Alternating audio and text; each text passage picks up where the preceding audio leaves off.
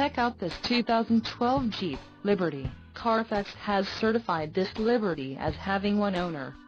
This Liberty has just under 6,500 miles. For your protection, this vehicle has a factory warranty.